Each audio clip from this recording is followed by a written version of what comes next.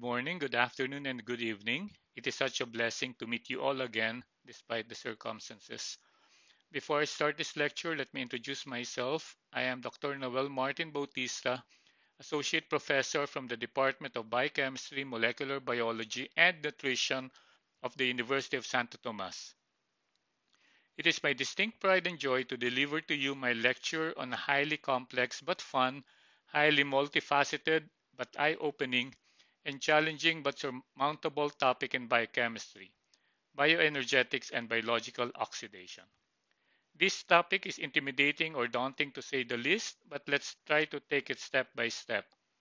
Hopefully, the concepts will be appreciated and thus open up explanation in life and our existence and what make us tick will make more sense. In the previous lectures, you have learned about the first three biomolecules involved in metabolism.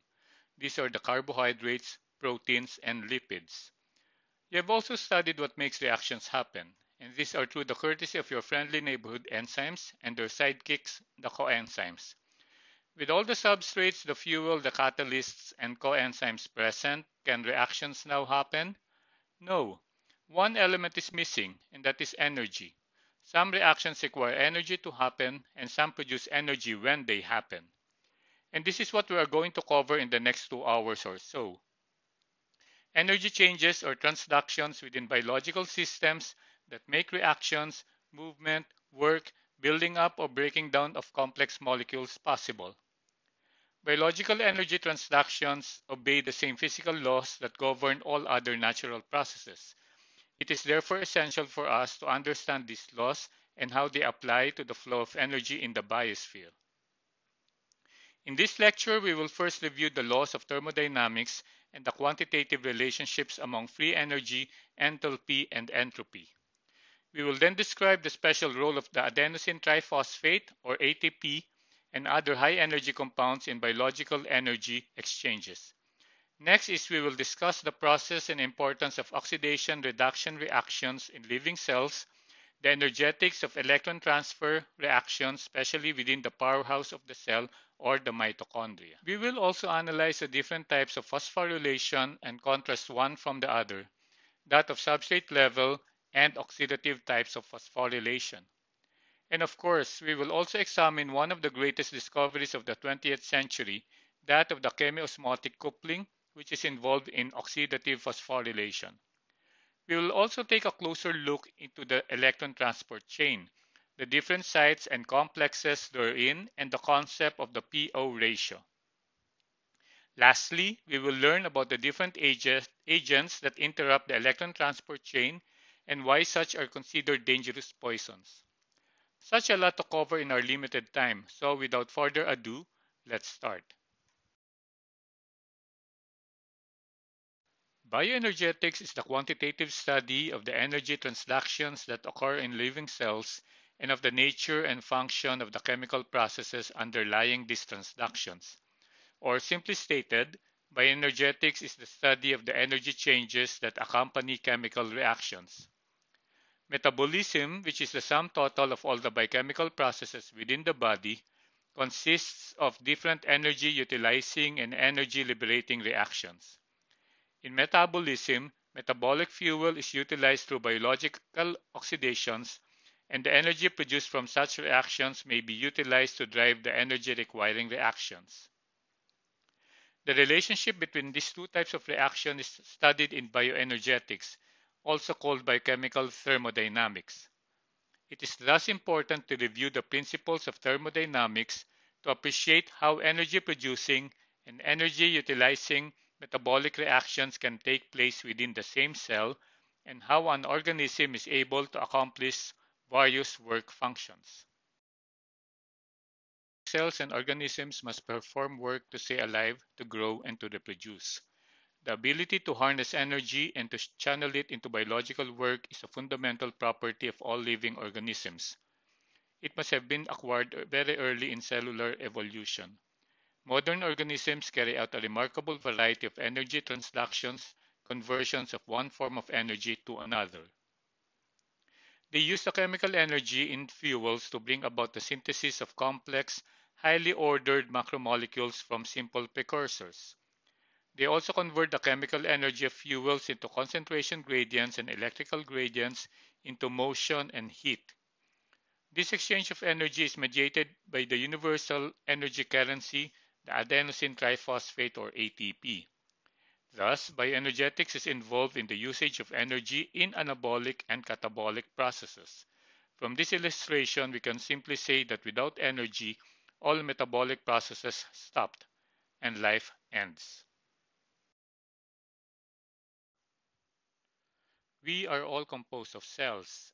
In the bioenergetics world, it is the cells that are the consummate transducers of energy, capable of interconverting chemical, electromagnetic, mechanical, and osmotic energy with great efficiency.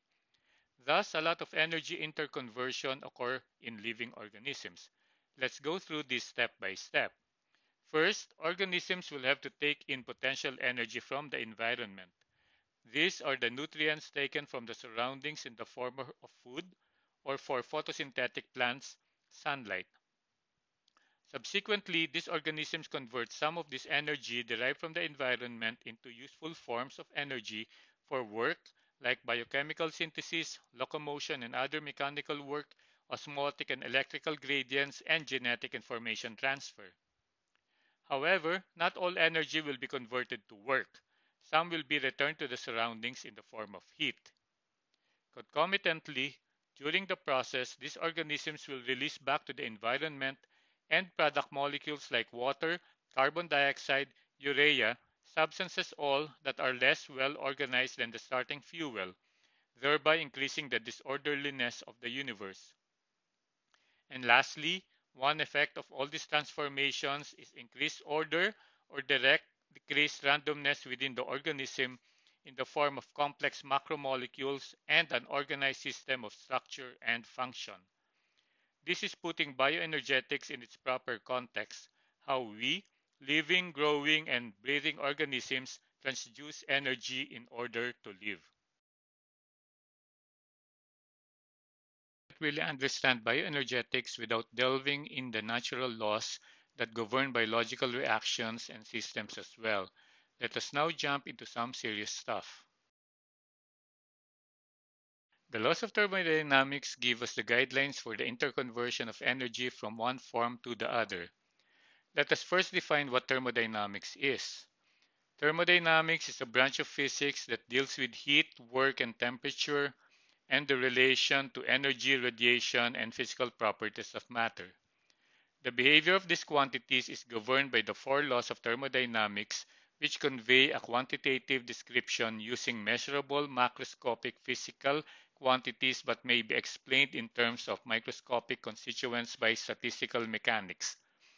Additionally, thermodynamics applies to a wide variety of topics in science and engineering, especially physical chemistry, chemical engineering, and mechanical engineering, but also in other complex fields such as meteorology. I think no one, including me, understood what I just said. Anyway, let us try to simplify this concept and just jump straight into its biochemical applications. We will just discuss the first two laws of thermodynamics. There are four laws, but it is only the first two laws that mostly pertain to biological systems. The first of these laws is the principle of the conservation of energy. This law states that for any physical or chemical change, the total amount of energy in the universe remains constant.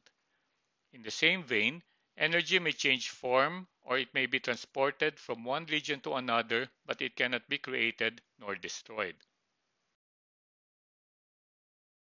In connection with the first law, the law of energy conservation, one thermodynamic quantity becomes relevant. In the realm of physics, enthalpy, symbolized by the capital letter H, of a thermodynamic system is defined as the sum of its internal energy and the work required to achieve its pressure and volume. Biochemically, however, enthalpy or H can be simply referred to as the heat content of the reacting system. It reflects the number and kinds of chemical bonds in the reactants and products. The total enthalpy of a system cannot be measured directly because the internal energy contains components that are unknown, not easily accessible, or are not of interest in thermodynamics. In practice, a change in the enthalpy or delta H is the preferred expression for measurements at constant pressure because it simplifies the description of energy transfer. When matter transfer into or out of the system is also prevented, the enthalpy change equals the energy exchanged with the environment by heat. Change in enthalpy, as we mentioned previously, is measured as the difference in the energy content or enthalpy of the products in relation to the reactants. So the change in enthalpy or delta H of a reaction is computed as the enthalpy of the products minus the enthalpy of the reactants. Thus, when a chemical reaction releases heat, as is shown here, it is said to be exothermic. The heat content of the products is less than that of the reactants, and thus delta H has a negative value. On the other hand, when reacting systems take up heat from their surroundings, these reactions are considered endothermic and have positive values of delta H or change in enthalpy. This means the heat content of the products is more than the heat content of the reactants. The second law of thermodynamics states that the universe always tends toward increasing disorder. To paraphrase, in all natural processes, the entropy of the universe increases. Living organisms consist of collections of molecules much more highly organized than the surrounding materials from which they are constructed from. And organisms maintain and produce order seemingly oblivious to the second law of thermodynamics. But living organisms do not violate the second law. They operate strictly within it. To discuss the application of the second law to biological systems, we must first define those systems and their surroundings. To continue, the reacting system is a collection of matter that is undergoing a particular chemical or physical process. It may be an organism, a cell, or two reacting compounds. In the example we will use later to explain change in entropy, the system will be the tea kettle and the universe is the kitchen. The reacting system and its surroundings together constitute the universe. Living cells and organisms are open systems, exchanging both material and energy with their surroundings. Additionally, living systems are never at equilibrium with their surroundings, and the constant transactions between a system and surroundings explain how organisms can create order within themselves while operating within the second law of thermodynamics. Let us now define what entropy means. Entropy, indicated as a capital letter S, is a quantitative expression for the randomness or disorderliness of a system. When the products of a reaction are less complex and more disordered than the reactants, the reaction is said to proceed with a gain in entropy. It is positive when randomness increases and is negative when randomness or disorderliness is decreased. Entropy came from the Greek word tropos, meaning transformation or a change within. To further understand entropy in the context of biological systems, let us look, look into the analogy of the tea kettle and the randomization of heat. We know that steam generated from boiling water can do useful work. But suppose we turn off the burner under a tea kettle full of water at 100 degrees centigrade which represents the system in the kitchen or the surroundings, and allow the tea kettle to cool down. As it cools down, no work is done, but heat passes from the tea kettle to the surroundings, raising the temperature of the surroundings, the kitchen in this case, by an infinitesimally small amount until complete equilibrium is attained. At this point, all parts of the tea kettle and the kitchen are at precisely the same temperature. The free energy that was once concentrated in the tea kettle of hot water at 100 degrees centigrade, potentially capable of doing work, has disappeared. Its equivalent in heat energy is still present in the tea kettle plus kitchen or the universe but has become completely randomized throughout. The energy is no longer available to do work because there is no temperature differential within the kitchen. Moreover, the increase in entropy of the kitchen or the surroundings is irreversible. We know from everyday experience that heat never spontaneously passes back from the kitchen into the tea kettle to raise the temperature of the water to 100 degrees centigrade again. What happened here is an increase in entropy or the state of disorderliness in the universe. Moving on, all processes tend to progress toward a situation of maximum entropy as we have seen in the tea kettle analogy. Thus, it is easy to see now that creating and maintaining order within a system like the cell requires work and energy. DNA, RNA, and proteins are informational macromolecules. In addition to using chemical energy to form the covalent bonds between the subunits in, in these polymers, the cell must invest energy to order the subunits in their correct sequence. It is extremely improbable that amino acids in a mixture would spontaneously condense into a single type of protein with a unique sequence. This would represent increased order in a population of molecules. But according to the second law of thermodynamics, the tendency in nature is toward ever greater disorder in the universe. The total entropy of the universe is continually increasing. Thus, to bring about the synthesis of macromolecules from their monomeric units, free energy must be supplied to the system, in this case, the cell. To reiterate, the second law of thermodynamics states that the entropy of the universe increases during all chemical and physical processes, but it does not require that the entropy increase takes place in the reacting system itself. The order produced within cells as they grow and divide is more than compensated for by the disorder they create in their surroundings during growth and division. In short, living organisms preserve their internal order by taking from the surroundings free energy in the form of nutrients or sunlight and returning to their surroundings an equal amount of energy as heat and entropy. To continue, the total entropy of a system must increase if a process is to occur spontaneously. Entropy represents the energy of a system that is unavailable for work. Remember, entropy is a measure of disorder or randomness in a system. It is work expended to bring a system to an ordered manner. All processes must tend to progress toward a situation of maximum entropy. Living systems that are highly ordered are never at equilibrium with their surroundings as equilibrium in a system will result when randomness or disorder is at a maximum. We will now relate the second law of thermodynamics to the first law, as we will see in the next few slides.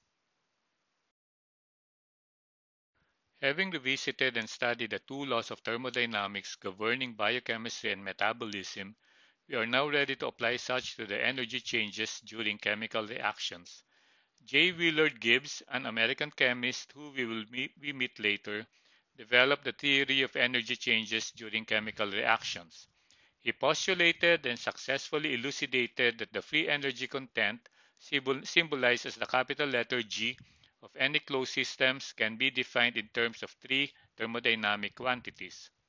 The first is enthalpy, or H, reflecting the number and kinds of bonds within the reacting system entropy or S, representing the disorderliness of the systems before and after the reaction, and the absolute temperature in degrees Kelvin. He came to the conclusion that the defined free energy into this equation is change in free energy is equal to the change in enthalpy minus temperature times the change in entropy. When a chemical reaction occurs at constant temperature, the free energy change or delta G is determined by the enthalpy change or delta H reflecting the kinds and numbers of chemical bonds and noncovalent interactions broken and formed and the entropy change or delta S describing the change in the system's randomness.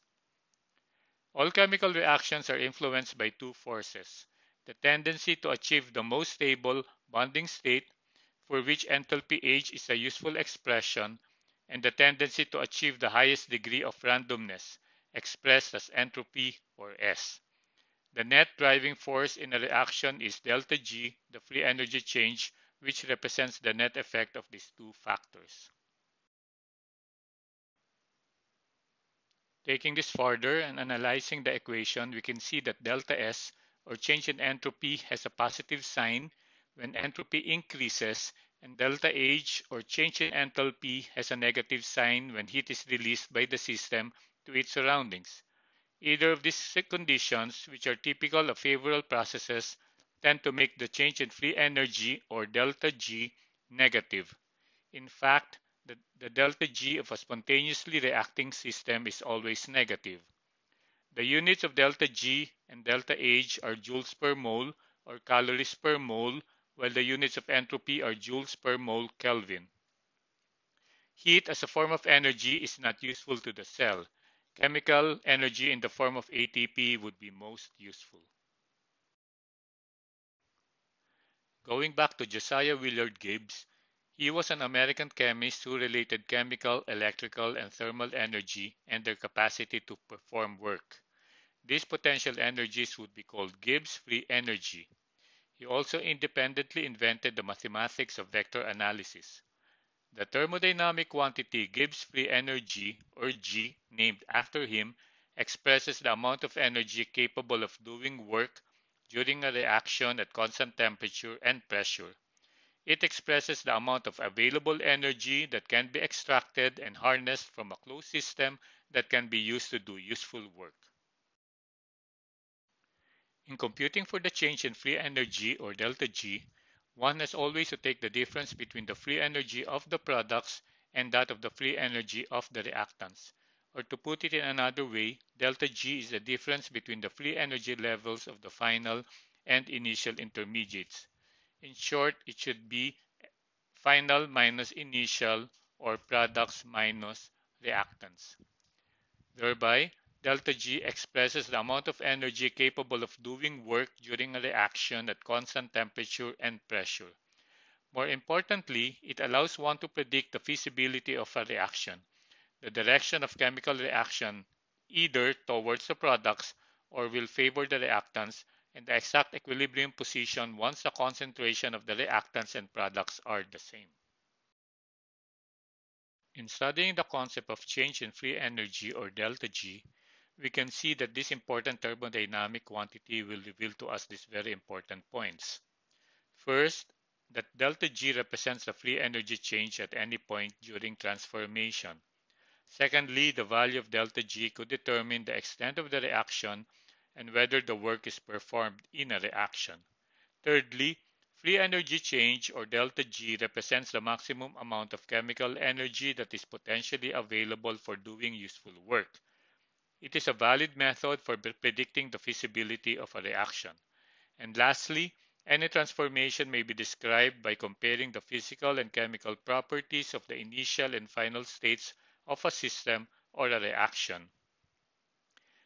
This energy diagram shown here represents three possible energy scenarios of reactions that will give different values in free energy change or delta G. Let's look at these energy scenarios more closely. This scenario is where the free energy level of the products is lower than that of the reactants. Thus, if we're going to apply this equation, the result will be delta G or change in free energy is less than zero, or a value that is negative, meaning that the reaction is ex exergonic and can spontaneously occur. This is a favorable reaction. An exergonic reaction could occur by itself and is usually associated with the loss of energy. An exothermic reaction releases energy as heat, as in this case. On the other hand, this is an energy diagram of a reaction where the free energy level of the products is higher than that of the reactants. Thus, if we're going to apply this equation, the result will be the change in free energy or delta G value is more than zero or has a positive value. This means that the reaction is non-spontaneous and requires addition of energy to go to completion. Therefore, this is an endergonic reaction where the products will be associated with an increase in free energy. This reaction likewise takes up heat energy and is called an endothermic reaction. To continue, when the free energy level of both the products and the reactants are equal, the change in free energy or delta G will be zero, or the reaction system has achieved equilibrium. When a system is at equilibrium, the rate of product formation exactly equals the rate at which product is converted back to the reactants. Thus, there is no net change in the concentration of reactants and products and a steady state is achieved. The energy change as the system moves from its initial state to equilibrium with no changes in temperature or pressure is given by the free energy change or delta G. Let us now proceed to the concept of the standard free energy change represented by the notation delta G naught prime. The standard free energy change is an alternative mathematical way of expressing a chemical reaction's equilibrium constant. It is the difference between the free energy content of the products and the free energy content of the reactants under standard conditions, specifically at 1 molar concentration of reactants at standard pressure and temperature and at a pH of 7. This quantity also governs that all chemical reactions tend to go in the direction that results in a decrease in the free energy of the system. And lastly, standard free energy change shows where the final equilibrium for a reaction lies, but tell, tells us nothing about how fast equilibrium will be achieved. The rates of reactions are governed by the parameters of kinetics, a different topic altogether. The central issue in bioenergetics, the study of energy transformations in living systems, is the means by which energy from fuel metabolism or light capture is coupled to a cell's energy requiring reactions. This brings us to the important biochemical concept of energy coupling. That of thermodynamically unfavored reaction can be driven by being coupled to thermodynamically favored reaction. It is a state where the output of chemical energy from exergonic reaction serves as the input of chemical energy that will drive endergonic reaction to completion. In thinking about energy coupling, it is useful to consider a simple mechanical analogy. An object at the top of an inclined plane has a certain amount of potential energy as a result of its elevation. It tends to slide down the plane, losing its potential energy of position as, as it approaches the ground. When an appropriate string and pulley device couples the falling object to another, smaller object, the spontaneous downward motion of the larger can lift the smaller, accomplishing a certain amount of work. The amount of energy available to do work is the free energy change, or delta G.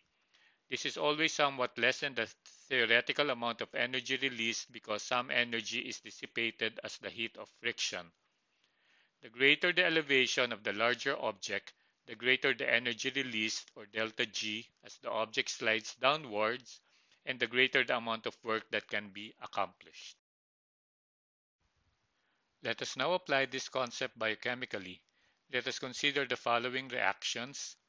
In reaction 1, the formation of glucose 6-phosphate from glucose and inorganic phosphate yields a product of higher energy than the two reactants. For this endergonic reaction, delta G1 is positive.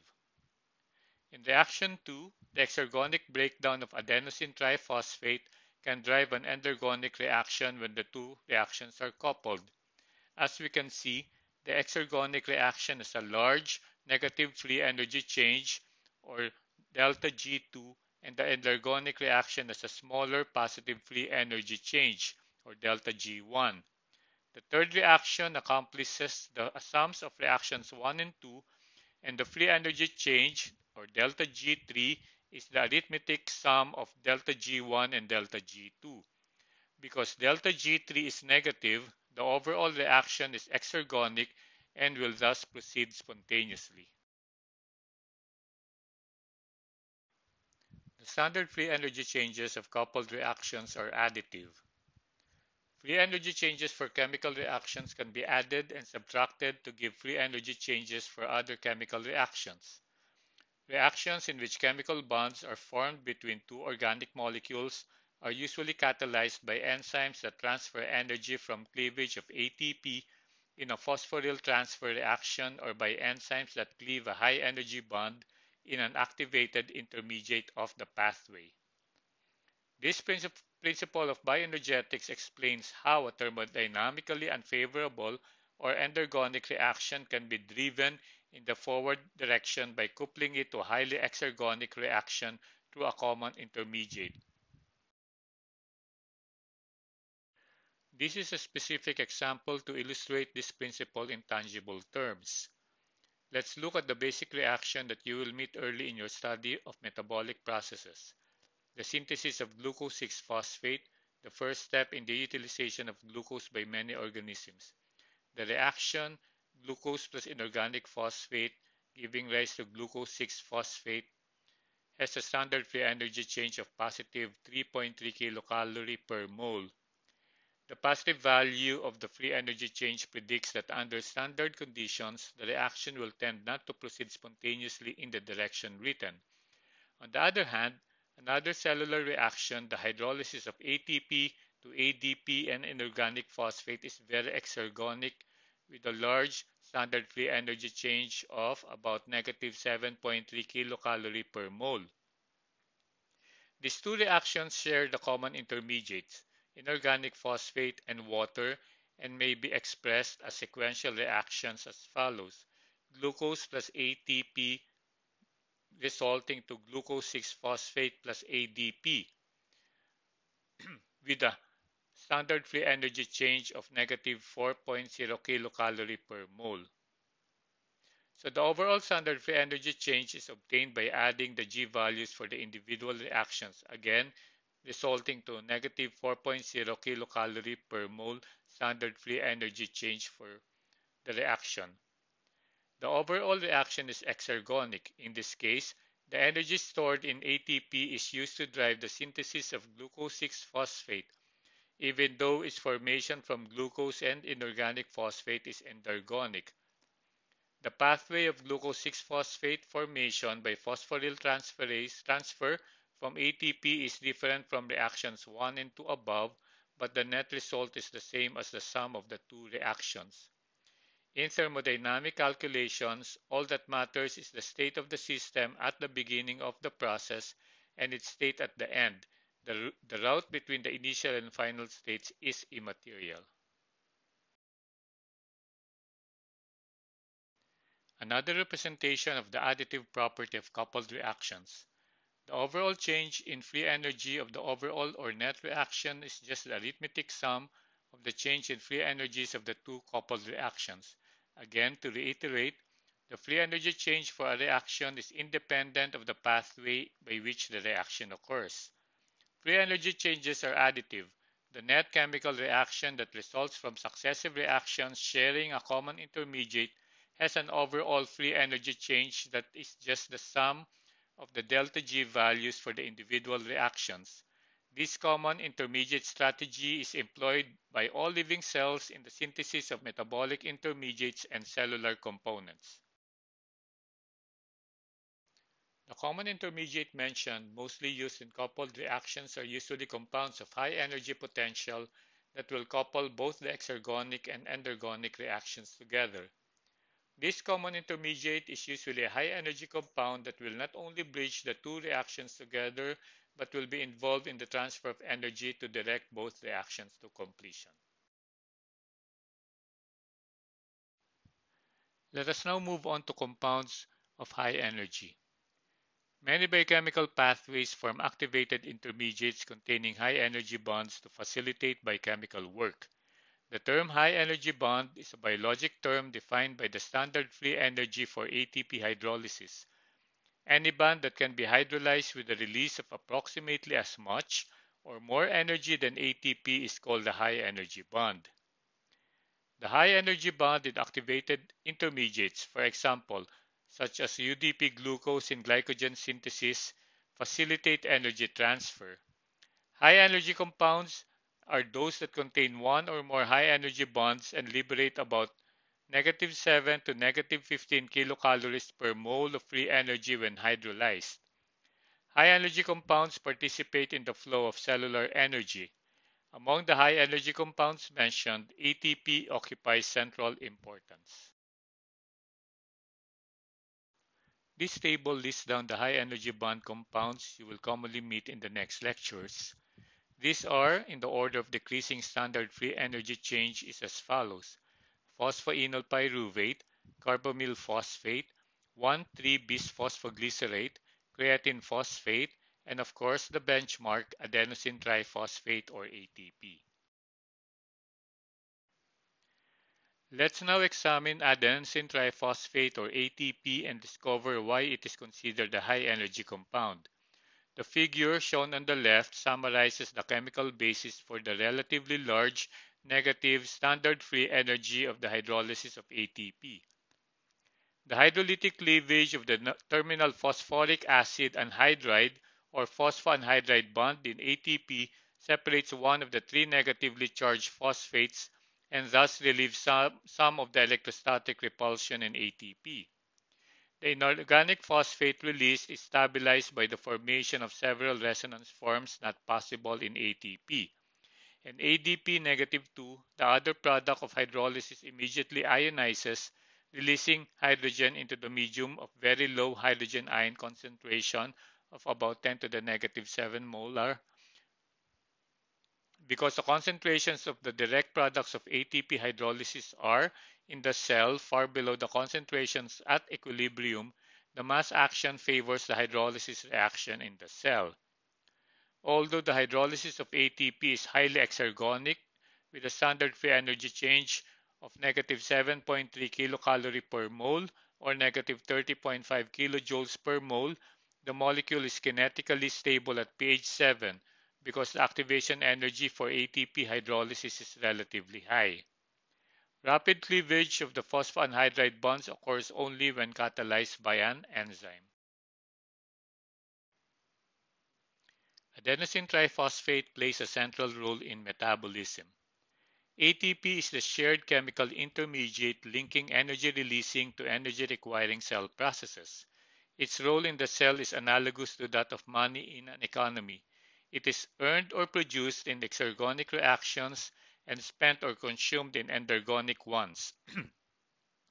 the overall network of enzyme-catalyzed pathways constitutes cellular metabolism. ATP is the major connecting link or the shared intermediate between the catabolic and anabolic components of this network. The pathways of enzyme-catalyzed reactions that act on the main constituents of cells, proteins, fats, sugars, and nucleic acids are virtually identical in all living organisms. Probably the highest energy containing compound is phosphoenol pyruvate or PEP. PEP contains a phosphate ester bond that undergoes hydrolysis to yield the enol form of pyruvate, and this direct product can immediately tautomerize to the more stable keto form of pyruvate. Because the reactant, phosphoenol pyruvate, has only one form, the enol form, and the product, which is pyruvate, has two possible forms. The product is stabilized relative to the reactant. This is the greatest contributing factor to the high standard free energy of hydrolysis of phosphoenol pyruvate, having a standard free energy change of almost twice that of ATP, that is negative 14.8 kilocalorie per mole or negative 61.9 kilojoules per mole. Another high-energy 3-carbon compound is 1,3-bisphosphoglycerate, which contains an anhydride bond between the carboxyl group at C1 and phosphoric acid. Hydrolysis of this acyl phosphate is accompanied by a large negative standard free energy change of negative 12.3 kilocalorie per mole or negative 49.3 kilojoules per mole which can again be explained in terms of the structure of reactants and products. When water is added across the anhydride bond of 1,3-bisphosphoglycerate, one of the direct products, 3-phosphoglyceric acid, can immediately lose a proton to give the carboxylate ion 3-phosphoglycerate, which has two equally probable resonance forms. Removal of the direct product, 3-phosphoglyceric acid, and formation of the resonance stabilized ion favor the forward reaction. In phosphocreatine, the phosphorus nitrogen bond can be hydrolyzed to generate free creatine and inorganic phosphate. The release of inorganic phosphate and the resonance stabilization of creatine favor the forward reaction. The standard free energy change of phosphocreatine hydrolysis is again large at negative 10.3 kilocalorie per mole or negative 43.0 kilojoules per mole. In all these phosphate-releasing reactions, the several resonance forms available to inorganic phosphates stabilize this product relative to the reactants, contributing to an already negative free energy change. Low energy compounds, on the other hand, are those that yield less than negative 7.3 kilocalories per mole or less than negative 30.5 kilojoules per mole when bonds are hydrolyzed. Examples are other phosphorylated intermediates like adenosine diphosphate, pyrophosphate, glucose 1-phosphate, fructose 6-phosphate, adenosine monophosphate, glucose 6-phosphate, and glycerol 3-phosphate. As is evident from the additivity of free energy changes of sequential reactions, any phosphorylated compound can be synthesized by coupling the synthesis to the breakdown of another phosphorylated compound with a more negative free energy of hydrolysis. For example, because cleavage of inorganic phosphate from phosphoenol pyruvate or PEP releases more energy than is needed to drive the condensation of inorganic phosphate with ADP, the direct donation of a phosphoryl group from PEP to ADP to form ATP is thermodynamically feasible as is shown here. Much of catabolism is directed toward the synthesis of high-energy phosphate compounds, but their formation is not an end in itself. They are the means of activating a very wide variety of compounds for further chemical transformation. The transfer of a phosphoryl group to a compound effectively puts free energy into that compound so that it has more free energy to give up during subsequent metabolic transformations. Okay, let us now move on to the next segment. This concept is basic but crucial to the study of energy transductions in the cell. This is the concept of biological oxidation from which all energy comes from and what we can say makes life possible. Biological oxidation is the type of oxidation which occurs in biological systems to produce energy. Oxidation in the cell can occur in several ways, the least common route of which is via the addition of oxygen. Another way is with the removal of hydrogen, but the most common route is through the direct removal of electrons. Electrons, however, are not stable in the free state, so their removal from a substance or oxidation must be accompanied by their acceptance by another substance or the process of reduction. Hence, the reaction is called oxidation, reduction, reaction, or redox reaction, and the involved enzymes are called oxidoreductases. The flow of electrons in oxidation reduction reactions is responsible directly or indirectly for all work done by living organisms. As a review, remember that the electron-donating molecule in an oxidation-reduction reaction is called the reducing agent or the reductant. On the other hand, the electron-accepting molecule is the oxidizing agent or the oxidant. A given agent, such as an iron cation existing in the ferrous or iron plus 2 or ferric or iron plus 3 states, as we will see in the next slide, functions as a conjugate reductant oxidant or redox pair similar to an acid and corresponding base function as a conjugate acid-base pair. Let us now look at a particular example, the oxidation of ferrous ion by cupric ion. Although oxidation and reduction must occur together, it is convenient when describing electron transfers to consider the two halves of an oxidation-reduction reaction separately. Let's revisit certain caveats. Oxidation, as we know, is defined as the loss of electrons. Thus, with the loss of electrons, ferrous or iron plus 2 will have an increase in oxidation state and become ferric or iron plus 3 because it has lost an electron and its charge increased from plus 2 to plus 3. Consequently, reduction is defined as a gain of electrons. With the gain of electrons, cupric or copper plus 2 will have a decrease in oxidation state to become cuprous or copper plus 1. This is because the copper ion has gained an electron and its charge decreased from plus 2 to plus 1. In redox reactions, we can write a similar general equation as such. Electron donor equals electron plus electron acceptor.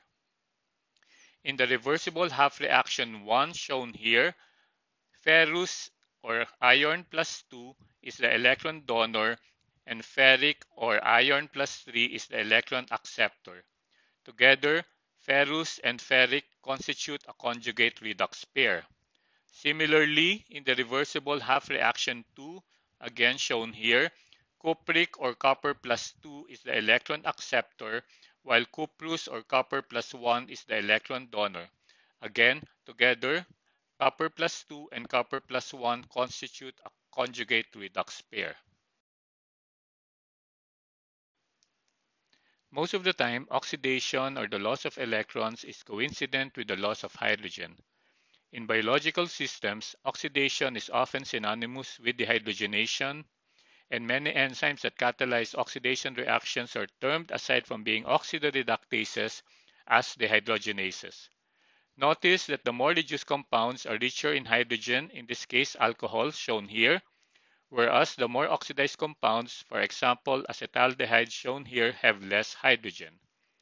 As you have learned from your lectures in enzymes and coenzymes, dehydrogenation or oxidation reduction reactions are catalyzed by oxidoreductases or dehydrogenases.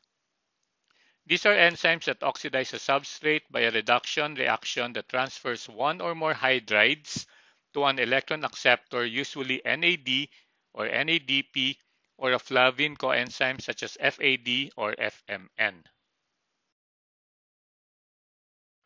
Moving on, let us now look into the various ways how electrons are transferred among atoms or molecules.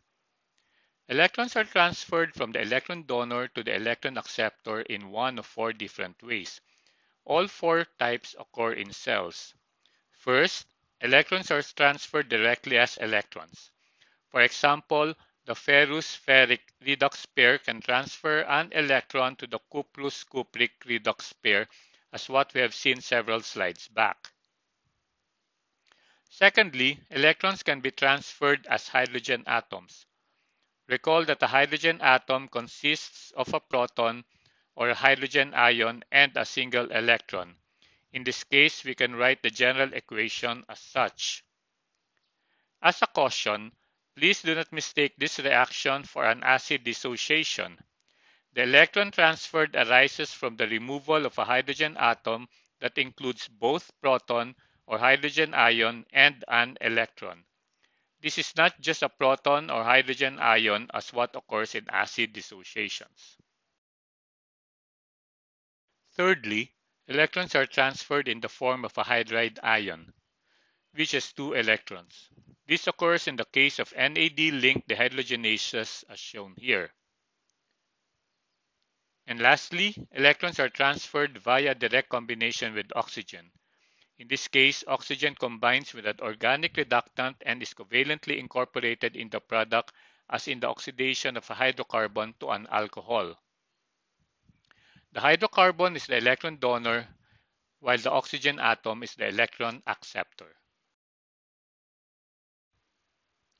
All four types of electron transfer occur in cells.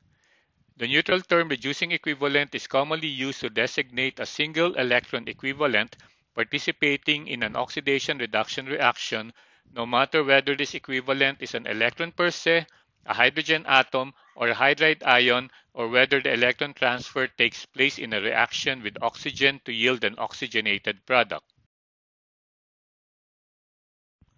However, because biological fuel molecules are usually enzymatically dehydrogenated to lose two reducing equivalents at a time, and because each oxygen atom can accept two reducing equivalents, biochemists by convention regard the unit of biological oxidations as two reducing equivalents passing from substrate to oxygen.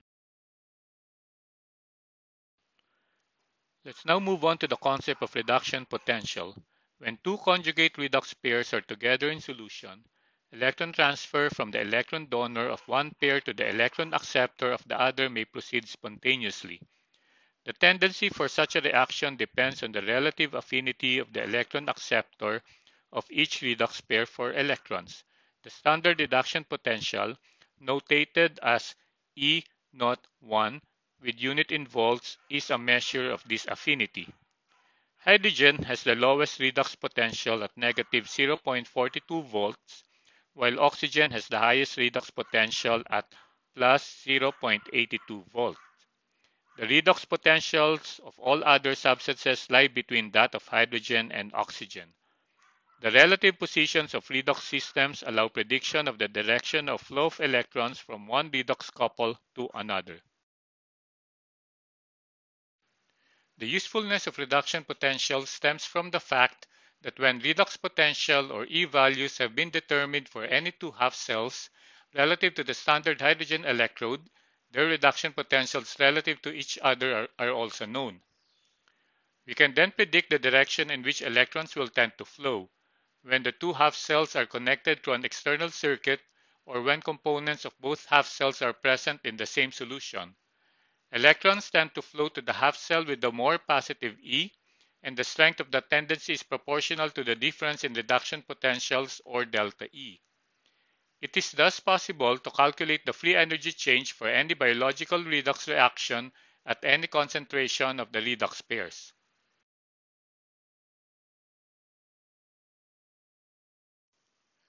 This table lists the standard reduction potentials of various half reactions of oxidation-reduction reactions occurring in the cell. Again, please recall that the standard reduction potential measures the tendency of a chemical species to acquire electrons and thereby be reduced. As seen in the table here, ferredoxin has the greatest tendency to donate electrons having the lowest or most negative standard reduction potential at negative 0.432 volt. This is followed by hydrogen at 0.42 volt. Oxygen, on the other hand, as shown here, has the highest redox potential at positive 0.82 volt. This indicates oxygen as the atom or molecule with the greatest tendency to accept electrons as shown by it having the highest standard redox potential. Therefore, oxygen is usually referred to as the ultimate acceptor of electrons in the cell. Additionally, the redox potential of all other substances lie between that of ferredoxin and oxygen. The relative positions of redox systems allow prediction of the direction of flow of electrons from one redox couple to another.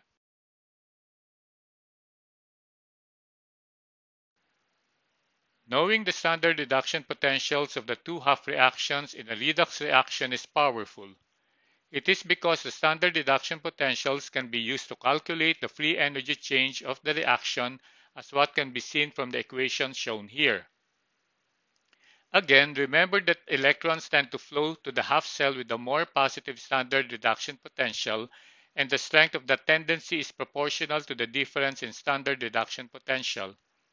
I spared you the nosebleed in the derivation of this equation associating standard free energy change of a reaction to that of the standard reduction potentials of its corresponding two half reactions. Let us just accept the relationship that the energy made available by this spontaneous electron flow or the free energy change or delta G for the oxidation reduction reaction is proportional to the standard reduction potential difference. In this equation, N represents the number of electrons transferred in the reaction. With this equation, we can calculate the free energy change for any oxidation reduction reaction from the values of E in the table of reduction potentials, certain known constants, and the concentrations of the species participating in the reaction. We have mentioned that it is the transfer of electrons that is responsible for most of energy generation within the cell and subsequently most of the work done. The principles of oxidation reduction energetics described previously apply to the many metabolic reactions that involve electron transfers. For example, in many organisms, the oxidation of glucose supplies energy for the production of ATP. Cells convert glucose to carbon dioxide not in a single high energy releasing reaction, but rather in a series of controlled reactions, some of which are oxidations. Electrons removed from these oxidation steps are transferred to coenzymes specialized for carrying electrons, also known as the universal electron carriers. You have previously discussed most of this in your lecture in coenzymes, but it is worth revisiting to put them in the proper context of our current discussion. The multitude of enzymes that catalyze cellular oxidations channel electrons from their hundreds of different substrates into just a few types of universal electron carriers. The reduction of these carriers in catabolic processes results in the conservation of free energy released by substrate oxidation. These coenzymes undergo reversible oxidation and reduction in many of the electron transfer reactions of metabolism. These include the nucleotides NAD and NADP that move readily from one enzyme to another, the flavin nucleotides FMN and FAD, which are usually very tightly bound to the enzymes called flavoproteins for which they serve as prosthetic groups. The lipid-soluble quinones such as ubiquinone and plastoquinone, which act as electron carriers and proton donors in the non-aqueous environment of membranes. And lastly, the iron sulfur proteins and cytochromes, which have tightly bound prosthetic groups that undergo reversible oxidation and reduction. These also serve as electron carriers in many oxidation-reduction reactions. Let us start with the pyridine nucleotides. The nicotinamide adenine dinucleotide with NAD in its oxidized form and its close analog nicotinamide adenine dinucleotide phosphate or NADP are composed of two nucleotides joined to their phosphate groups by a phosphoanhydride bond. Because the nicotinamide ring resembles pyridine, these compounds are sometimes called pyridine nucleotides. Both coenzymes undergo reversible reduction of the nicotinamide ring accepting a hydride ion, which we remember is comprised of a proton with two electrons. The vitamin niacin is the source of the nicotinamide moiety in the nicotinamide nucleotides. Both NAD and NADP coenzymes undergo reversible reduction of the nicotinamide ring as shown here. As a substrate molecule undergoes oxidation or dehydrogenation, giving up two hydrogen atoms, the oxidized form of the nucleotide, NAD or NADP, accepts a hydride ion, the equivalent of a proton and two electrons, and is transformed into the reduced form NADH or NADPH. The second proton removed from the substrate is released to the aqueous solvent. The half reaction for each type of nucleotide is shown here.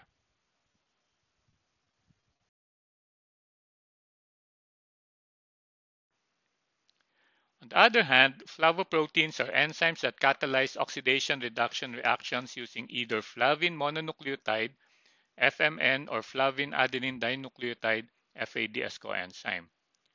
These coenzymes, the flavin nucleotides, are derived from the vitamin riboflavin. The fused ring structure of flavin nucleotides, the isoalloxazine ring, undergoes reversible reduction, accepting either one or two electrons in the form of one or two hydrogen atoms from a reduced substrate. Remember, each hydrogen atom contains an electron plus a proton. The fully reduced forms are abbreviated as FADH2 and FMNH2. Let's look more closely at the flavin nucleotides. Flavin mononucleotide consists of the structure above the dashed line on the flavin adenine dinucleotide, its oxidized form. Remember again that the flavin nucleotides accept two hydrogen atoms composed of two electrons and two protons, both of which appear in the flavin ring system. When a fully oxidized flavin nucleotide accepts only one electron, one hydrogen atom, the semiquinone form of the isoalloxazine ring is produced, abbreviated as FDH dot and FMNH dot. Because flavoproteins can participate in either one or two electron transfers, this class of proteins is involved in a greater diversity of reactions than the pyridine nucleotide dehydrogenases. In addition to NAD and flavoproteins, three other types of electron-carrying molecules function in the respiratory chain. A hydrophobic quinone, ubiquinone, and two different types of iron-containing proteins, the cytochromes, and the iron-sulfur proteins. Ubiquinone, also called coenzyme Q or simply Q, is a lipid-soluble benzoquinone with a long isoprenoid side chain. Ubiquinone can accept one electron to become the semiquinone radical QH or two electrons to form ubiquinol or QH2 and like flavoprotein carriers, it can act at the junction between a two-electron donor and a one-electron acceptor. Because ubiquinone is both small and hydrophobic, it is freely diffusible within the lipid bilayer of the inner mitochondrial membrane and can shuttle reducing equivalents between other, less mobile electron carriers in the membrane. And because it carries both electrons and protons, it plays a central role in coupling electron flow to proton movement. This slide shows the complete reduction of ubiquinone.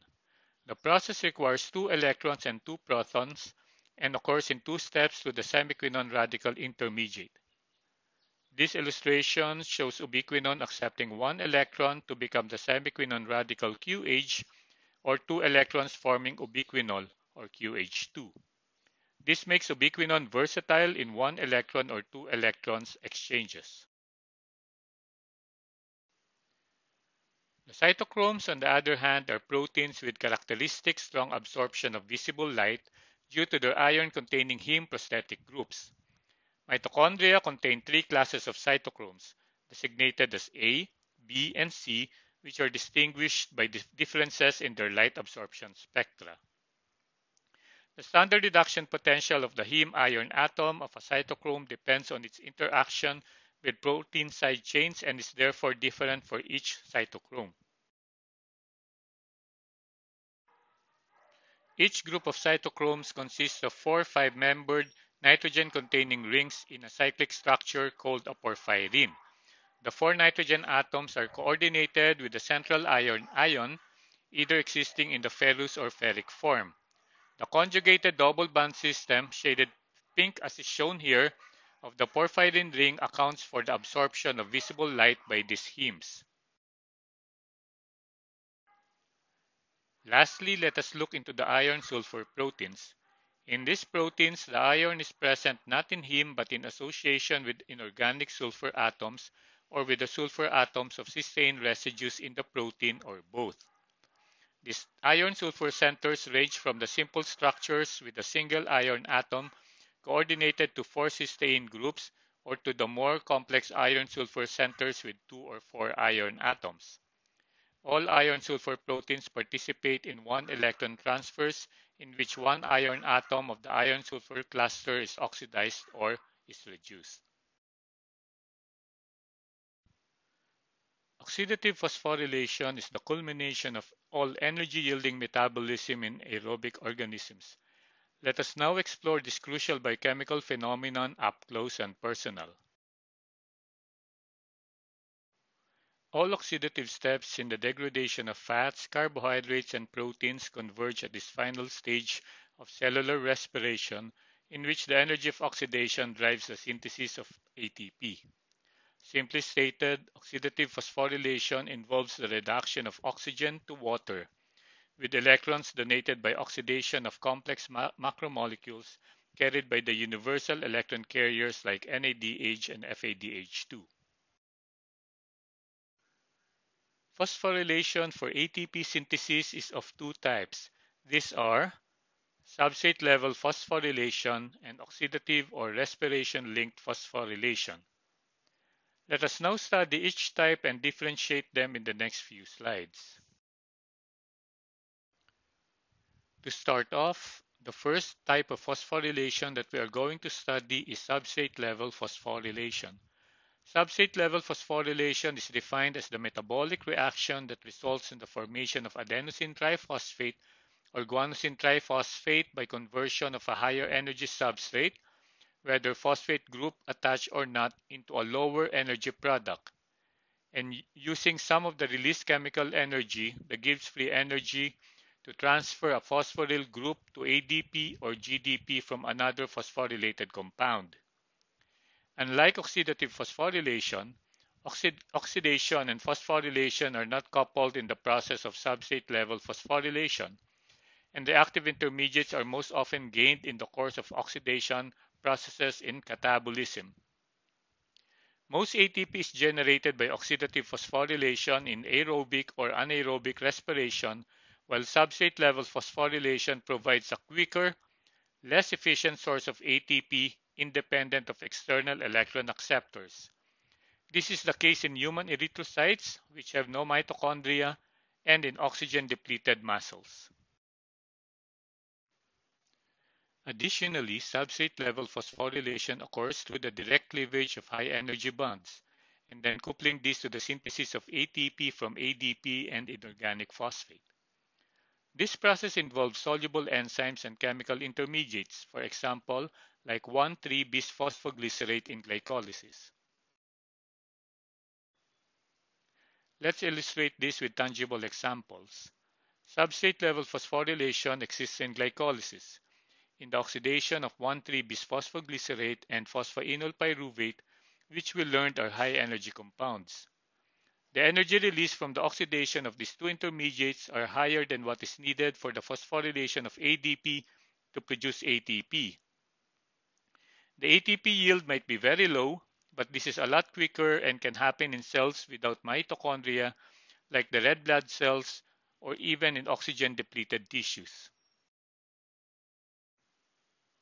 Oxidative phosphorylation, on the other hand, involves the reduction of oxygen to water with electrons donated by NADH and FADH2. This type of phosphorylation involves membrane-bound enzymes and transmembrane gradients of protons and occurs through oxidation of substrates in the electron transport chain. It is also known as the electron transport link phosphorylation. This involves the transfer of reducing equivalents in the chain, which produces energy and is captured via phosphorylation of ADP and inorganic phosphate to ATP. Thus, basically, this involves the coupling of biologic oxidation or simply respiration with phosphorylation. Oxidative phosphorylation is the culmination of energy-yielding metabolism in aerobic organisms. Oxidative phosphorylation begins with the entry of electrons into the respiratory chain. Most of these electrons arise from the action of dehydrogenases that collect electrons from catabolic pathways and funnel them into universal electron acceptors nicotinamide nucleotides NAD or NADP, or flavin nucleotides FMN or FAD. In addition to NAD and flavoproteins, three other types of electron-carrying molecules function in the respiratory chain. These are ubiquinone, cytochromes, and the different iron sulfur proteins. Oxidative phosphorylation involves the process wherein electrons pass through a series of membrane-bound carriers which is known as the electron transport chain. The mitochondrial respiratory chain consists of a series of sequentially acting electron carriers, most of which are integral proteins with prosthetic groups capable of accepting and donating either one or two electrons. Three types of electron transfers occur in oxidative phosphorylation. We have studied this previously, but it's worth mentioning again. Electrons are transferred as electrons, as hydrogen atoms, and as hydride ions, which carry two electrons. The electron transport chain, abbreviated as ETC, is the overall reaction catalyzed by the mitochondrial respiratory chain, where electrons move from NADH succinate or some other primary electron donor to flavoproteins, ubiquinone, iron, sulfur proteins, and cytochromes, and finally to the ultimate acceptor of electrons, molecular oxygen.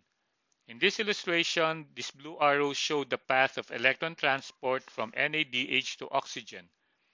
As electrons pass through the chain, protons are pumped from the mitochondrial matrix to the intermembrane space, thereby establishing an electrochemical potential gradient across the inner mitochondrial membrane. This electrochemical potential will now be harnessed in the phosphorylation of ADP to ATP within the mitochondria. Before we dive straight into the electron transport chain and oxidative phosphorylation, it is prudent for us to at least revisit the very important organelle where these processes will be occurring, in the mitochondria. The mitochondria is a double-membraned organelle where the electron transport chain is housed and is responsible for energy production, earning it the moniker of being the powerhouse of the cell. The outer mitochondrial membrane is readily permeable to small molecules and ions, which move freely through transmembrane channels formed by a family of integral membrane proteins called porins. The inner membrane, on the other hand, is impermeable to most small molecules and ions, including protons or hydrogen ions. Protons are one of the few species that can cross this membrane and they can only do so through specific transporters.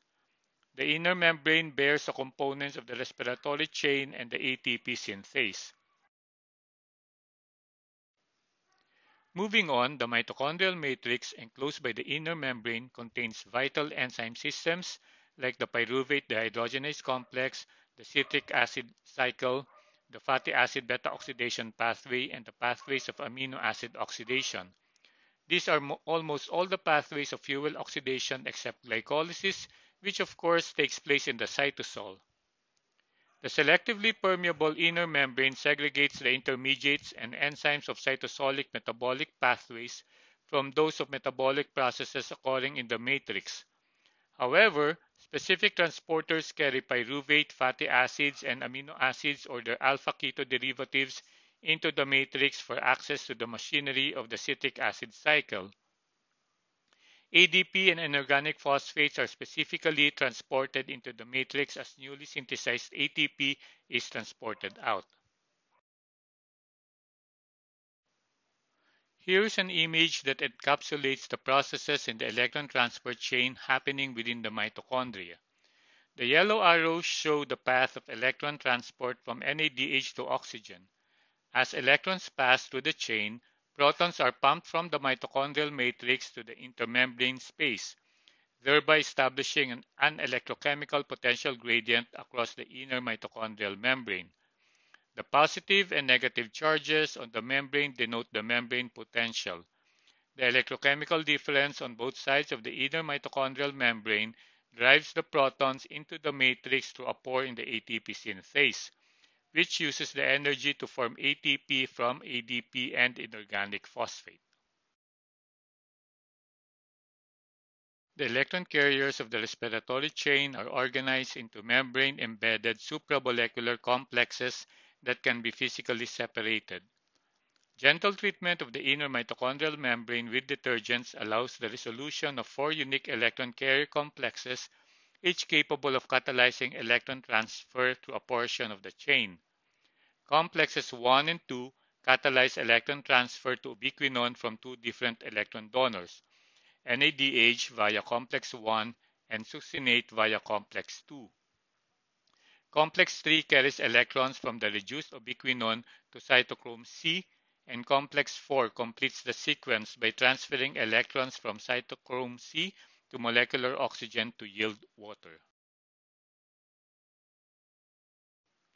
We are now ready to look more closely into the different complexes of the electron transport chain. The first is complex 1, also called NADH ubiquinone oxidoreductase or simply NADH dehydrogenase. NADH dehydrogenase is a large enzyme composed of 42 different polypeptide chains including an FMN containing flavoprotein and at least six iron sulfur centers. High-resolution electron microscopy shows complex 1 to be L-shaped with one arm of the L in the membrane and the other extending into the matrix. Two processes happen in complex 1. The first is the exergonic transfer of a pair of electrons from NADH to ubiquinone to reduce it to ubiquinol. The flow of electrons from the higher free energy level intermediates to that with a much lower free energy level will yield energy that can be used to do some useful work. Thus, the second process is the endergonic transfer of four protons from the matrix to the intermembrane space. Complex 1 is therefore a proton pump driven by the energy of electron transfer, and the reaction it catalyzes is vectorial. It moves protons in a specific direction from the matrix to the intermembrane space. As a consequence, the matrix becomes negatively charged with the departure of protons. The intermembrane space, on the other hand, becomes positive because of the influx of protons. To emphasize the vectorial nature of the process, the overall reaction is often written with subscripts that indicate the location of the protons. P is for the positive side of the in inner membrane or the intermembrane space. N is for the negative side, which is the matrix. Ubiquinol or QH2, the fully reduced form of ubiquinone, then diffuses in the inner mitochondrial membrane from complex 1 to complex 3, where it is oxidized back to ubiquinone in a process that also involves the outward movement of protons. Moving on now to complex 2. Complex 2, also known as succinate dehydrogenase, is considered to be the only membrane-bound enzyme in the citric acid cycle. Although smaller and simpler than complex 1, it contains five prosthetic groups of two types and four different protein subunits. The effect of each of these electron transferring enzymes is to contribute to the pool of reduced ubiquinone or ubiquinol or QH2 from all these reactions. The next respiratory complex, complex 3, also called cytochromes BC1 complex, or ubiquinone cytochrome C oxidoreductase couples the transfer of electrons from ubiquinol or QH2 to cytochrome C with the vectorial transport of protons from the matrix to the intermembrane space. Based on the structure of complex 3 and detailed biochemical studies of the redox reactions, a reasonable model has been proposed for the passage of electrons and protons through complex 3. The net equation for the redox reactions are shown here. Although the path of the electrons through this segment of the respiratory chain is complicated, the net effect of the transfer is simple. Ubiquinol or QH2 is oxidized back to ubiquinone or Q and two molecules of cytochrome C are reduced. At the same time, four protons are pumped from the matrix into the intermembrane space. Cytochrome C is a soluble protein of the intermembrane space. After each single heme accepts an electron from complex 3, cytochrome C moves to complex 4 to donate the electron to a binuclear copper center. In the final step of the respiratory chain, complex 4, also called cytochrome C oxidase, carries electrons from cytochrome C to molecular oxygen and reducing it to water. It contains cytochromes A and A3 and the oxygen binding site. A whole oxygen molecule or O2 must accept 4 electrons to be reduced to 2 moles of water. Bound copper ions in the cytochrome oxygen complex facilitate the collection of the 4 electrons and the reduction of the oxygen molecule.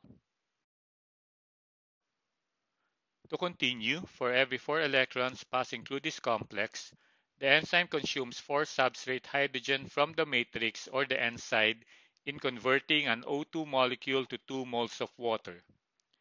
It also uses the energy of this redox reaction to pump one proton outward into the intermembrane space or the p side for each electron that passes through, adding to the electrochemical potential produced by a redox-driven proton transport through complexes 1 and 3.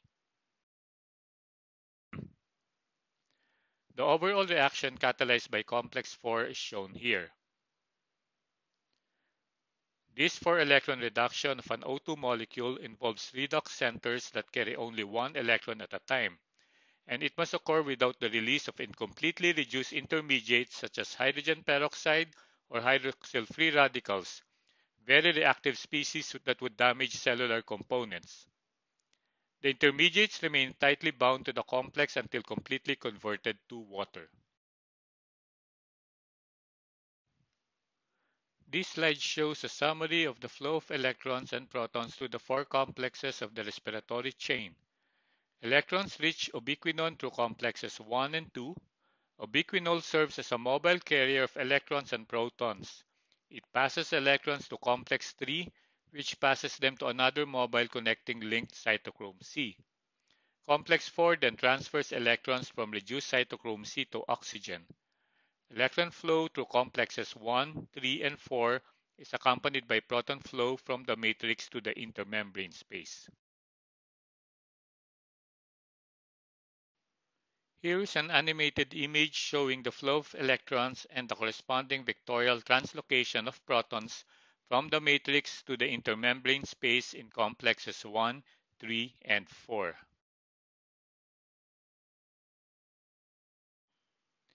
The transfer of two electrons from NADH through the respiratory chain to molecular oxygen can be written with this equation.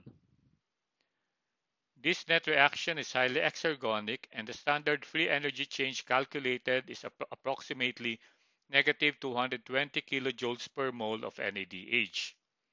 Much of this energy is used to pump protons out of the matrix. For each pair of electrons transferred to oxygen, 4 protons are pumped out by complex 1, 4 by complex 3, and 2 by complex 4 for a total of 10 protons. The electrochemical energy inherent in this difference in proton concentration and separation of charge represents a temporary conservation of much of the energy of electron transfer. This forms the basis for the proton motive force. Because the transfer of two electrons from NADH to oxygen is accompanied by the outward pumping of 10 hydrogen ions, roughly 200 of the 220 kilojoules released by oxidation of a mole of NADH is conserved in the proton gradient. The energy stored in such a gradient, termed the proton motive force, has two components. First, the chemical potential energy due to the difference in concentration of a chemical species, the hydrogen ions, in the two regions separated by the membrane. Second, the electrical potential energy that results from the separation of charge when a proton moves across the membrane without a counter ion. When protons flow spontaneously down their electrochemical gradient, energy is made available to do work. In mitochondria, chloroplasts, and aerobic bacteria, the electrochemical energy in the proton gradient drives the synthesis of ATP from ADP and inorganic phosphate. So let's now look at how the stored energy, the proton motive force, is harnessed to produce ATP for the energy needs of the cell. How is a concentration gradient of protons transformed into ATP? We have seen that electron transfer releases and the proton motive force conserves more than enough free energy of about 200 kilojoule per mole of electron pairs to drive the formation of a mole of ATP, which requires just about 50 kilojoules. Mitochondrial oxidative phosphorylation therefore poses no thermodynamic problem. But what is the chemical mechanism that couples proton flux with phosphorylation? This question was answered when Peter Mitchell a British biochemist was awarded the 1978 Nobel Prize for Chemistry for his groundbreaking breakthrough of the chemiosmotic mechanism of ATP synthesis. He coined this discovery as the chemiosmotic coupling hypothesis of oxidative phosphorylation, which eventually became one of the unifying principles of 20th century biology. The chemiosmotic model proposed by Peter Mitchell is the paradigm for this mechanism. We have seen that the transmembrane differences in proton concentration are the reservoir for the energy extracted from biological oxidation reactions. However, there was still a big piece of the puzzle missing in the chemical mechanism that couples proton flux with phosphorylation to produce ATP. This is where the chemiosmotic hypothesis comes in. According to the model, the electrochemical energy inherent in the difference in proton concentration and separation of charge across the inner mitochondrial membrane, or the proton motive force, drives the synthesis of ATP as protons flow passively back into the matrix through a proton pore associated with ATP synthase. Let us try to explain the chemiosmotic model. In this simple representation of the chemiosmotic theory applied to mitochondria, electrons from NADH and other oxidizable substrates pass through a chain of carriers arranged asymmetrically in the inner membrane. Electron flow is accompanied by proton transfer across the membrane, producing both a chemical gradient and an electrical gradient. The inner mitochondrial membrane, as we know, is impermeable to protons. Protons can re-enter the matrix only through proton-specific channels like FO.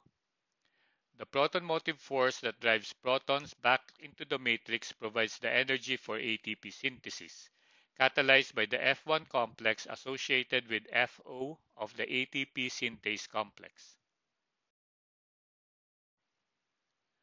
This is another look at the electron transport chain with the four complexes that we have studied. What is added here is a fifth complex, the ATP synthase, which can also be referred to as complex 5. ATP synthase, officially known as the FOF1 ATPase, is the enzyme complex that generates ATP. It is a multi-subunit enzyme containing an inner membrane portion known as the FO and a stalk and headpiece portion, the F1, that projects into the matrix. To continue, the ATP synthase has 12C subunits in the membrane that form a rotor that is attached to a central asymmetric shaft composed of epsilon and gamma subunits. The headpiece in turn is composed of three alpha-beta subunit pairs. Each beta subunit contains a catalytic site for ATP synthesis. The headpiece is held stationary by a delta subunit attached to a long B subunit connected to a subunit A in the membrane. ATP synthase carries out rotational catalysis in which the flow of protons through FO causes each of three nucleotide binding sites and F1 to cycle from ADP plus inorganic phosphate bound to ATP bound to empty conformations. This way, three active sites take turns in catalyzing ATP synthesis. The binding change or flip-flop mechanism theory or the conformational coupling hypothesis elucidated by Paul Boyer in the 1960s and 70s postulated that ATP synthesis is dependent on a conformational change in ATP synthase generated by rotation of the enzyme complex. The changes in the energy states of the different subunits causes a series of events that leads to the phosphorylation of ADP to ATP.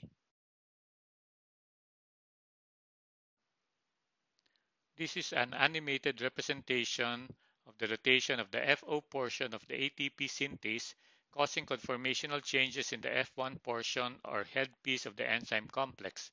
One can see the entry of the raw materials, ADP and inorganic phosphate, and the release of ATP from the enzyme complex.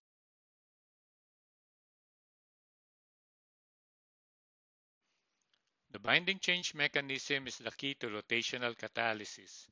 A given beta subunit starts in the beta ADP conformation which binds ADP and inorganic phosphate from the surrounding medium. The subunit now changes conformation, assuming the beta ATP form that tightly binds and stabilizes ATP, bringing about the ready equilibration of ADP plus inorganic phosphate with ATP on the enzyme surface. Finally, the subunit changes to the beta empty conformation which has very low affinity for ATP and the newly synthesized ATP leaves the enzyme surface. Another round of catalysis begins when this subunit again assumes the beta ADP form and binds ADP and inorganic phosphate. Here's another view of the binding change mechanism. The binding change mechanism involves the active site of a beta subunit cycling between three states. In the loose state, ADP and the phosphate enter the active site. The enzyme then undergoes a change in shape and forces these molecules together, with the active site in the resulting tight state binding the newly produced ATP molecule with very high affinity. Finally, the active site cycles back to the open state, releasing ATP and binding more ADP and phosphate, ready for the next cycle of ATP production. The conformational changes central to this mechanism are driven by the passage of protons to the FO portion of ATP synthase. This in turn turns the FO portion of ATP synthase leading to the conformational changes in the beta subunits of the F1 or head portion of the enzyme complex resulting to the phosphorylation of ADP to ATP. The phosphate oxygen ratio or PO ratio refers to the amount of ATP produced from the movement of two electrons through a defined electron transport chain, terminated by reduction of an oxygen atom. The PO ratio is dependent on the number of hydrogen ions transported outward across an electrochemical gradient and the number of protons which return inward through the membrane via an enzyme such as ATP synthase. Overall, each NADH donates two electrons equivalent to the reduction of one half of an O2 molecule. A generally but not universally accepted estimate of the stoichiometry of ATP synthesis is that 4 protons are pumped out at complex 1, 4 protons at complex 3, and 2 at complex 4. It has been studied and accepted that ATP synthase complex would need 4 protons translocated for 1 ATP synthesized from ADP and inorganic phosphate. Let's explore this important concept in greater detail. Looking at the electron transport chain, a total of 10 protons will be translocated out to the intermembrane space when NADH is oxidized as electron donor complex 1. With 4 protons translocated for each ATP synthesized, an estimated 2.5 ATPs are formed for each NADH oxidized, resulting to a PO ratio of 2.5. On the other hand, with succinate as electron donor via complex 2, a total of 6 protons are translocated through complexes 3 and 4, resulting to 1.5 ATPs for each of FADH2 containing flavoproteins oxidized, resulting to a PO ratio of 1.5. Modern biochemists and academicians now use the PO values of 2.5 and 1.5, but the values 3.0 and 2.0 are still common in the biochemical literature. Moving on, we have learned that the inner mitochondrial membrane is generally impermeable to charged species and other molecules.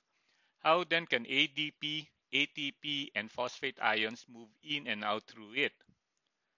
There are two specific transport systems that translocate ADP and inorganic phosphate into the matrix and ATP out to the intermembrane space. The adenine nucleotide translocase, integral to the inner membrane, transports ADP negative 3 in the intermembrane space and transports it into the matrix in exchange for an ATP negative 4 molecule that is simultaneously transported outward into the intermembrane space. Because this antiporter moves 4 negative charges out for every 3 moved in, its activity is favored by the transmembrane electrochemical gradient which gives the matrix a net negative charge. Similar to ATP synthase, the proton motive force drives ATP-ADP exchange. A second membrane transport system essential to oxidative phosphorylation is phosphate translocase, which promotes symport of one dihydrogen phosphate or H2PO4 negative and one hydrogen ion into the matrix. Moving on, the NADH dehydrogenase of the inner mitochondrial membrane of animal cells can accept electrons only from the NADH in the matrix. Given that the inner membrane is not permeable to NADH, how then can the NADH generated by glycolysis in the cytosol be reoxidized to NAD positive via the respiratory chain? Special shuttle systems carry reducing equivalents from cytosolic NADH into mitochondria by an indirect route. These are the malate, aspartate, and glycerol 3-phosphate shuttle systems. We will just enumerate them here and not go into the details. Suffice it to know that special shuttle systems do exist for this purpose of NADH transport through the impermeable inner mitochondrial membrane. Oxidative phosphorylation is a highly crucial process that it needs to be finely regulated. The rate of respiration or oxygen consumption in the mitochondria is tightly regulated. It is generally limited by the availability of ADP as a substrate for phosphorylation.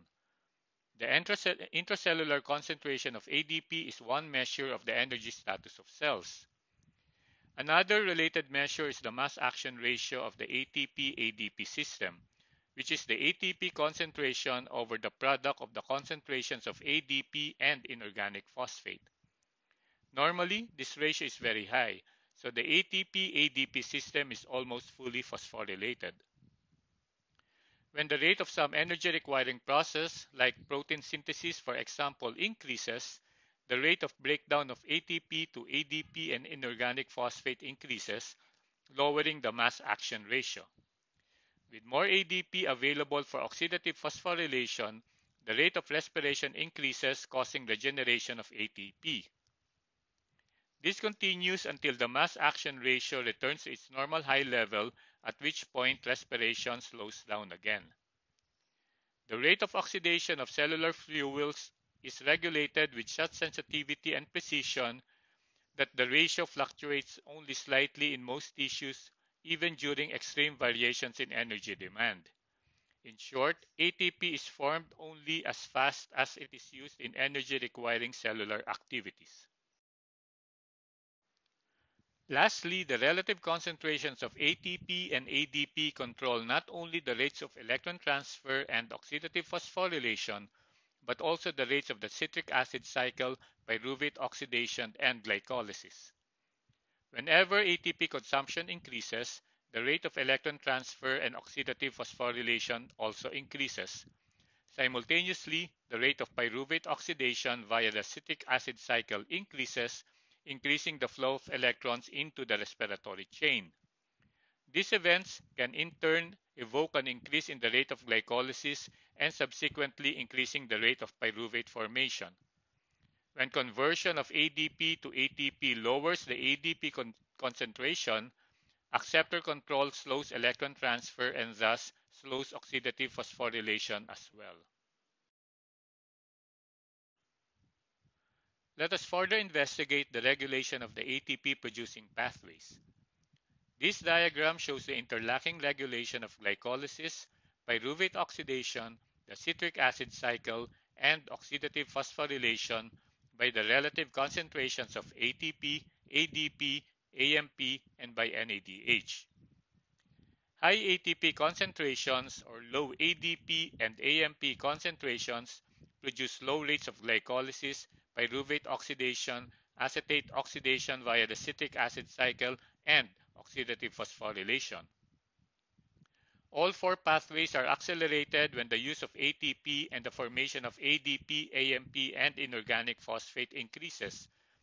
The interlocking of glycolysis and the citric acid cycle by citrate, which inhibits glycolysis, supplements the action of the adenine nucleotide system.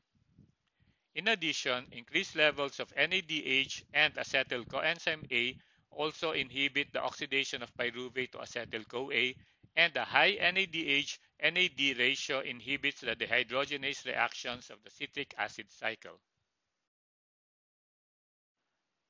Let's now move on to the different agents that interfere with oxidative phosphorylation. These agents are referred to as poisons since they either disrupt the flow of electrons in the electron transport chain or inhibit ATP synthase. So this agent's overall effect is the diminution or failure to produce ATP for the cell's use. The agents or poisons that disrupt the electron transport chain or the synthesis of ATP via phosphorylation may be classified according to the complex they interfere with or through their mechanisms of action. Let's go through them one by one. This table shown here lists the following poisons according to their mechanisms of action to wit, inhibition of electron transfer, inhibition of ATP synthase, uncoupling of phosphorylation from electron transfer, and lastly, inhibition of ATP-ADP exchange. Feel free to pause the presentation to take a longer look at the different agents and their mechanisms of action. The next slide, on the other hand, illustrates the different poisons according to their sites of action, the different complexes including complex 5 or the ATP synthase. Here's a classification of the different agents according to their sites of action. As we can see, we have toxic agents that interfere with electron transfer within complex 1, complex 2, complex 3, and complex 4. Not shown are the poisons disrupting phosphorylation in complex 5 or the ATP synthase. Let's now go through each of the different agents, but we will classify them according to their mechanism of actions rather than their site of action. The first group includes the small molecules of cyanide, carbon monoxide, and hydrogen sulfide. As we all know, these are highly toxic chemicals that cause thousands of deaths yearly. The first in the list, cyanide, binds to the ferric ion in the heme of the cytochrome AA3, a component of cytochrome C oxidase, and thus prevents electron transport to the ultimate electron acceptor oxygen. Mitochondrial respiration and energy production cease and cell death rapidly occurs. Cyanide is present in automobile exhausts, cigarette smoke, and cyanoglycosides, which are present in edible plants like cassava, almonds, soybeans, and a lot more. The central nervous system is the primary target for cyanide toxicity. Carbon monoxide likewise is toxic for mitochondria in man, altering the mitochondrial respiratory chain at the cytochrome C oxidase level. This inhibition in cytochrome C oxidase may play a role in the development of the symptoms observed in acute carbon monoxide poisoning and in some diseases related to smoking. However, the actual mechanism for the inhibition of cytochrome C oxidase by carbon monoxide is still under investigation. Hydrogen sulfide and carbon monoxide share some common features, both of which inhibit cytochrome C oxidase. Mitochondrial cytochrome C oxidase is rapidly inhibited by sulfide via a still unknown mechanism. The next poison is antimycin A, which is a potent and hazardous pesticide or fish poison and a secondary metabolite produced by Streptomyces bacteria. Antimycin A is a dangerous electron transport chain inhibitor. It inhibits the flow of electrons through complex 3 of the electron transport chain by blocking the passage of electrons from cytochrome B to cytochrome C. Antimycin is widely used in research to study cellular respiration because of its potent ability to block the electron transport chain. Moving on, let's look at a group of poisons that share a similar mechanism of action in disrupting the electron transport chain. Amytal, a barbiturate drug, rotenone, a plant product commonly used as an insecticide, and piericidin A, an antibiotic, all inhibit electron flow from the iron sulfur centers of complex 1 to ubiquinone and therefore block the overall process of oxidative phosphorylation. Because they only block the flow of electrons from complex 1 to ubiquinone, complex 2 is unimpeded. Therefore, no ATP is formed from NADH. However, two ATPs can be formed per mole of FADH2 that enters via complex 2. The next group of toxic agents operates in an entirely different manner. Aurovertin, oligomycin, and venturicidin are poisonous antibiotics that inhibit ATP synthase or complex 5. These antibiotics inhibit the ATP synthase by binding to it and inhibiting specific components of the complex. These compounds are proven to be potent inhibitors of ATP synthesis and thus stopping phosphorylation of ADP and inorganic phosphate completely. On the other hand, NN-dicyclohexylcarbodiimide, or abbreviated as DCCD, is an organic compound whose primary use is to couple amino acids during artificial peptide synthesis. It is a classical inhibitor of ATP synthase. DCCD inhibits ATP synthase by binding to one of the C subunits and causing steric hindrance of the rotation of the FO subunit, thus preventing rotational catalysis and subsequently ATP synthesis. Let's now discuss the phenomenon of dissociating or separating biological oxidation or respiration from the process of phosphorylation. When protons leak back into the matrix without going through the ATP synthase pore, they dissipate the electrochemical gradient or proton motive force across the membrane without generating ATP. This phenomenon is called uncoupling oxidative phosphorylation. It occurs with chemical compounds known as uncouplers, and it occurs physiologically with uncoupling proteins that form proton conductance channels through the membrane.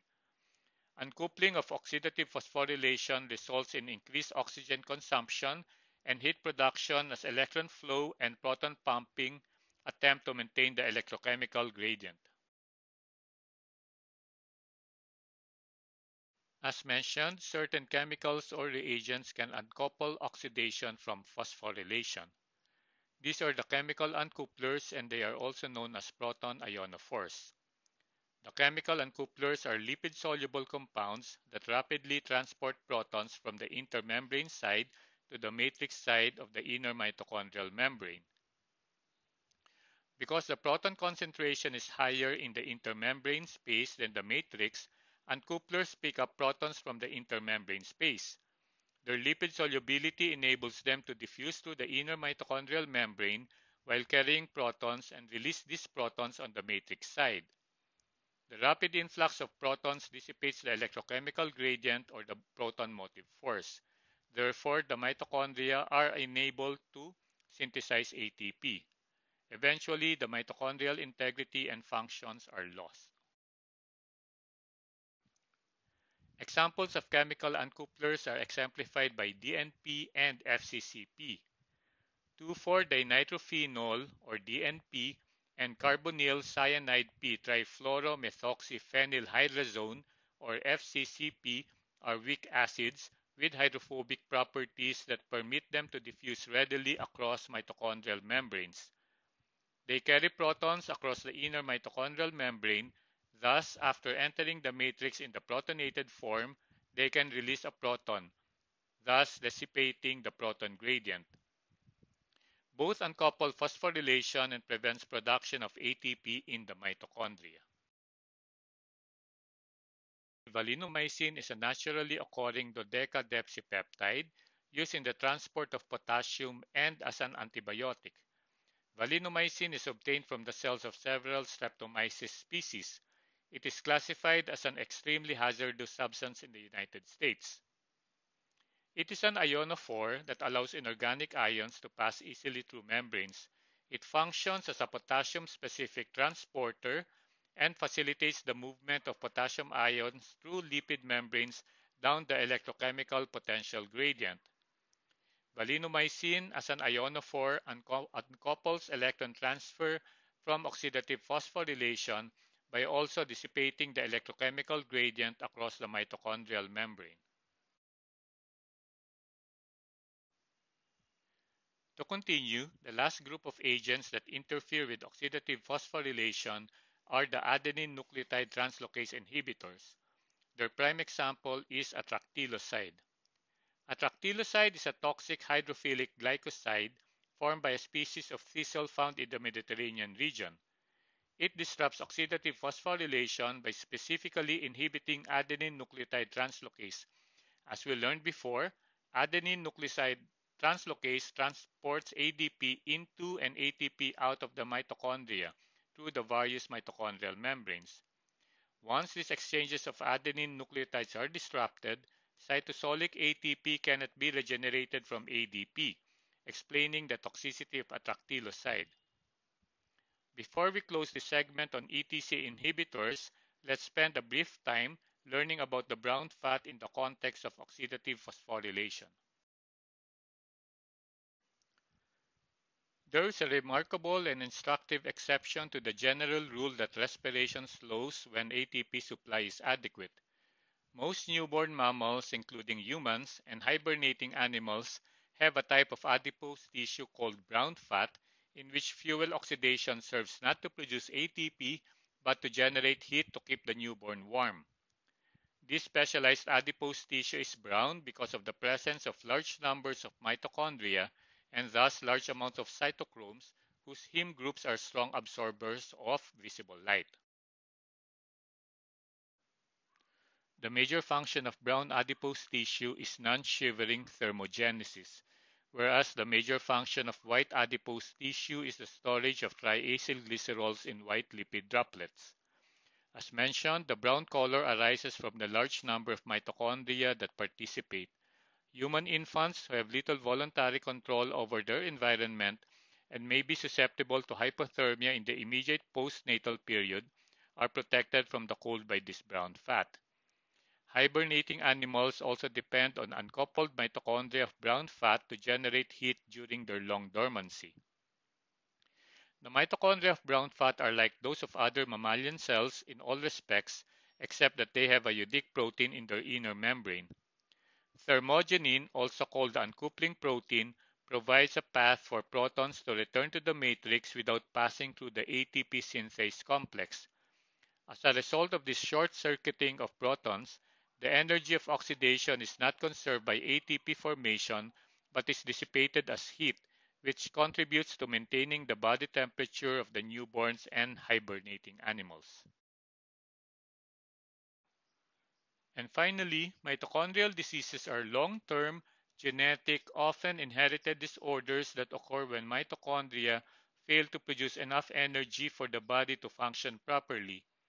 Mitochondrial diseases can affect almost any part of the body, including the cells of the brain, nerves, muscles, kidneys, heart, liver, eyes, ears, or pancreas.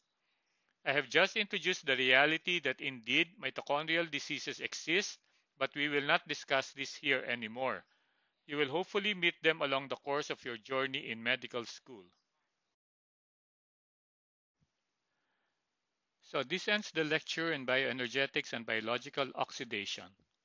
These are quite lengthy, complex, and challenging topics, and I hope and pray that this discussion helped in a way for all of us to not only understand but appreciate these concepts as well. Thank you very much for listening, and again, stay safe always.